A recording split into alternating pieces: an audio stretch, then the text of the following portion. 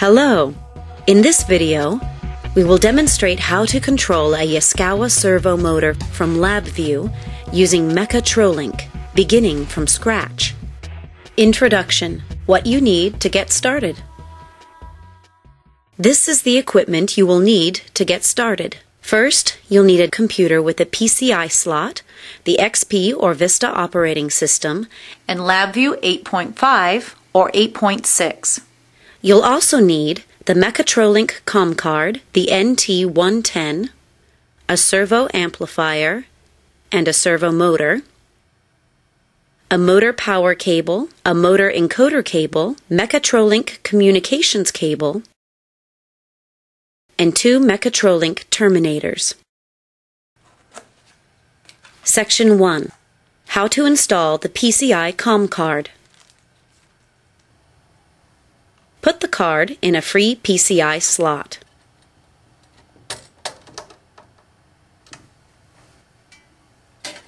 Section 2. Download and install the Mechatrolink driver. You'll need to obtain the driver package from National Instruments or Yaskawa's websites. If you get any pop ups regarding a detection of new hardware, just cancel that for now. After you've extracted it, open the folder and run the setup file. Click Next to accept the default installation path. If you accept the license agreement, choose the I accept option and click Next. Click Next again, and the driver will begin installing. You should now see a message showing the location for the hardware driver for the NT110 PCI COM card. Please make note of it. You will need it to complete the installation. Go to your device manager and initiate the Found New Hardware wizard. Select the option so you can choose the driver to install.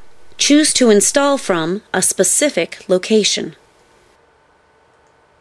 And browse to the location where the driver was installed. Click OK. Next. In some cases, Windows may set a restore point and will back up your files. Go to the location you noted earlier to find the NT hardware driver.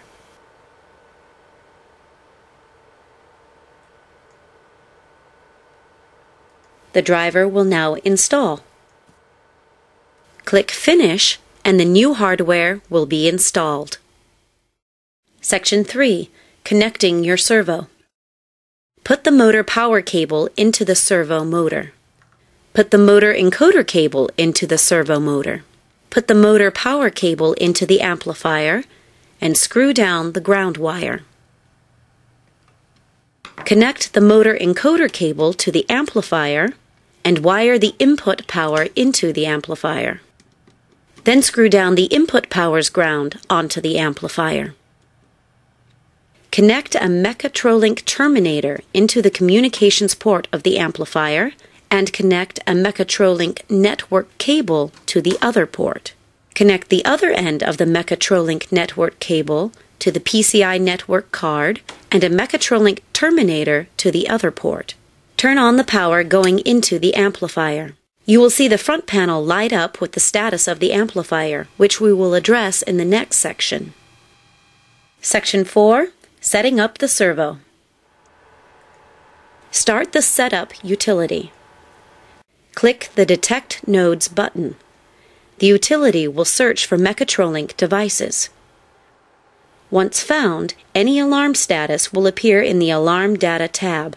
We notice that there is no alarm, but there are three status bits that are illuminated the negative over travel, the positive over travel, and main power on. The status of these indicators means that the over travels have not been wired in. For the purpose of this demonstration, we will disable these by going to the Drive Parameters tab. We read all parameters, which will populate the data fields for the servo drive. Let's look at 50A, negative overtravel, and 50B, positive overtravel. To disable overtravels, we click on the 50A data cell and change it to 8881. The cell changes to red, indicating that the data has been changed but has not been saved yet. Next, we select the 50B data cell and change it to 8888. Now we can write the modified parameters to the drive. When we go back and click Read, we see that the changes have been saved to the drive. Another way we could have made these changes is by calling up each parameter by its data tag in this area, but we chose instead to make changes in the drive's data field section. When we go back to the alarm status table, we notice that the changes have not fully taken place yet because the servonet has not been reset. Click on Servonet Reset and the changes are finalized, and we have disabled both the positive and negative overtravels. The next parameter we will examine is PN002. The setting of 0000 is the software's default setting, which indicates that the drive is configured to work with an absolute encoder. Since we are using an incremental encoder on our servo motor, we need to change this to 0100 by following the same procedures as earlier shown to change and to save this setup.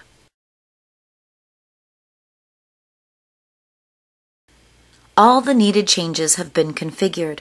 We have set up our drive by disabling the positive and negative overtravels, and we have changed the default from absolute to incremental encoder feedback. We are now ready to go to the Tuning tab.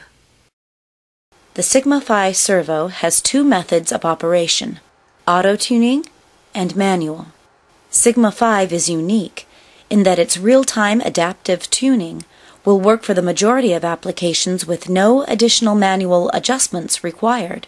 Let's look at the auto-tuning tabs.